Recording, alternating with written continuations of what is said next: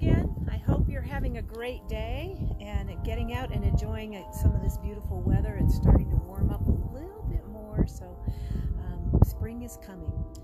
I was thinking this week that that we uh, passed the first of April, and that was Census Day, which is funny that it's on April Fool's Day. But Census Day is the day that we are all counted, isn't it? We are supposed to be filling out our counting for the government so that we can know how many people are living in each area of our country. I thought how interesting it is that Jesus came into this world during a time of counting, during a census time. And when uh, when we are counted by the Lord, we are know that we are loved by the Lord. Um,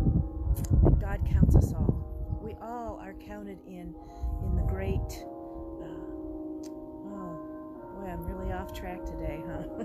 We're all counted in the great world of the spirit and and each person's value is determined only by the fact that they were created by God. So we are all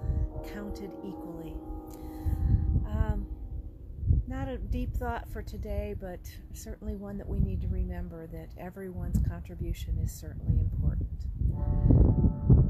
God bless you. I hope I see you on Sunday at our drive through for Palm Sunday, where I will hand you one of our palms and our palm crosses. And uh, praying that you will be blessed today and be a blessing to others.